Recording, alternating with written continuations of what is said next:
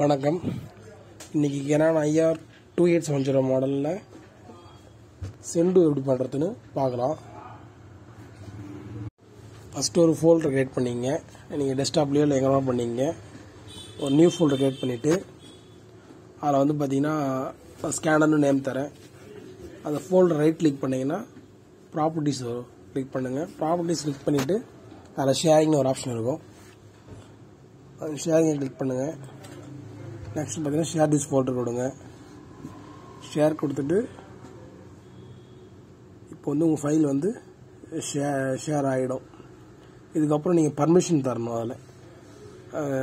Access பண்ணுறதுக்கான permission நீங்கள் தராமல் மாதிரி இருக்கும். அதில் வந்து பார்த்தீங்கன்னா அடுத்து நீங்கள் டன் கொடுத்து அட்வான்ஸ்டு ஷேரிங் போனீங்கன்னா கீழே அதில் ஷேர் திஸ் ஃபோட்டோ டிக் பண்ணுங்கள் அதில் பர்மிஷன்ஸ்னு இருக்கும். ஸோ அதை கிளிக் பண்ணிட்டு ஃபுல் கண்ட்ரோல் கொடுங்க. கொடுத்துட்டு அப்ளை கொடுத்துட்டு ஓகே கொடுத்துருங்க. நெக்ஸ்ட் அப்ளை கொடுத்துட்டு ஓகே கொடுத்துருங்க. இதை ஃபாலோ பண்ணிங்க இப்போ வந்து ஃபோல்டர் வந்து ஷேர் ஆகிடும் அது எப்படி ஷேர் ஆகிருக்கு கன்ஃபார்ம் பண்ணுறதுக்கு நீங்கள் ஜஸ்ட்டு மை கம்ப்யூட்டர் ஓப்பன் பண்ணிவிட்டு அதில் நெட்ஒர்க்னு ஒரு ஆப்ஷன் இருக்கும். அதை கிளிக் பண்ணிவிட்டு உங்கள் யூஸர் கிளிக் பண்ணிங்கன்னா அது உள்ளே காமிக்கும். உங்களுடைய ஷேர்டு ஃபோல்டர்ஸ்லாம் வந்து காமிக்கும். ஸோ இத்தனை ஃபோல்டர் நம்ம ஷேர் பண்ணி வச்சுருக்கோம். நம்ம ஸ்கேனரை வந்து ஷேர் பண்ணி வச்சுருக்கோம். நெக்ஸ்ட்டு பார்த்தீங்கன்னா நீங்கள் ஜெராக்ஸ் மிஷினில் போயிட்டு சென்ட் ஆப்ஷனை வந்து நீங்கள் கான்ஃபிகர் பண்ணணும். ஃபஸ்ட்டு பார்த்தீங்கன்னா சென்டை கிளிக் பண்ணுங்கள் சென்டை கிளிக் பண்ணிவிட்டு அதில் வந்து ரிஜிஸ்டர் ஒன் டச் பட்டன் ஒரு ஆப்ஷன் இருக்கும்.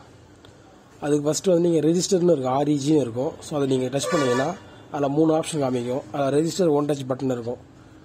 அந்த ரெஜிஸ்டர் ஒன் டச் பட்டனை கிளிக் பண்ணிங்கன்னா ஜீரோ ஜீரோ ஒன்று ஜீரோ ஜீரோ ரெண்டு இந்த மாதிரி ஸ்டோர் பண்ணுறதுக்கான நேம்ஸ் காமிக்கும். நம்ம என்ன ஒன்று பண்ணியிருக்கோம்.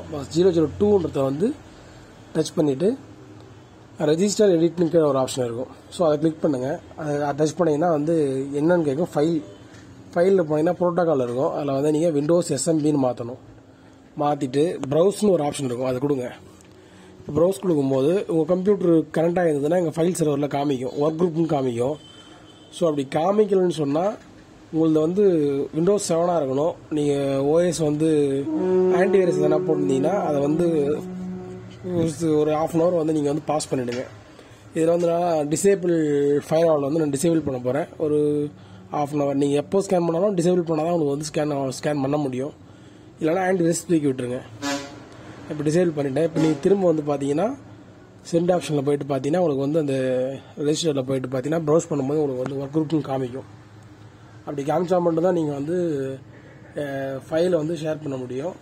அப்படி காமிக்கலன்னு சொன்னால் விண்டோஸ் செவனில் மட்டும் தான் பண்ண முடியும். டென்னில் அது வந்து இதில் ஒர்க் குரூப் காம்பினேஷன் இல்லை. ஸோ ஒர்க் குரூப் காமிக்குதுங்களா? அது டச் பண்ணிவிட்டு டவுன் கொடுத்தீங்கன்னா உங்கள் பிசி நேம் காமிக்கும்.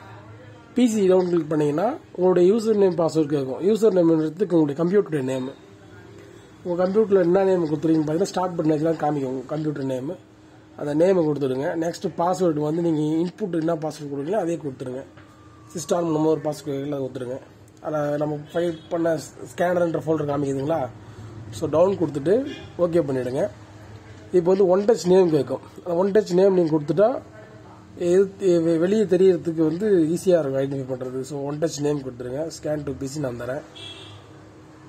ஸ்கேன் டூ பிசின்னு கொடுத்துட்டு ஓகே பண்ணிவிடுங்க ஓகே பண்ணிட்டீங்கன்னா உங்களுக்கு வந்து ஒன் டச் பட்டனில் வந்து ஸ்டோர் ஆகிடும் இதுமாதிரி நீங்கள் எத்தனை சிஸ்டத்துக்கு வேணாலும் பண்ணிக்கலாம். இப்போ ஒரு சிஸ்டத்துக்கு பண்ணிடுங்க. நீங்கள் இப்போ வந்து டிஸ்பிளேல ஒன் டச்னு ஆப்ஷன் இருக்குது பார்த்தீங்களா அதில் போயிட்டு ஸ்கேன் டூ பிசி டச் பண்ணிவிட்டு நீங்கள் ஒரு ஒரு பேப்பரையோ இல்லை ஒரு புக்கு கூட ஃபுல்லாக ஸ்கேன் பண்ணலாம். இதில் வந்து நான் வந்து ஏ ஃபோர் ஷீட் ஒன்று வச்சுட்டு அதை வந்து பிடிஎஃப் ஸ்கேன் பண்ண போகிறேன் அதில் வந்து பார்த்தீங்கன்னா டிஃப் பிடிஎஃப் ரெண்டு ஃபார்மேட் பண்ணலாம். இந்த three zero two five two eight seven ஜீரோவில் நான் பிடிஎஃபாக கொடுத்துட்றேன்.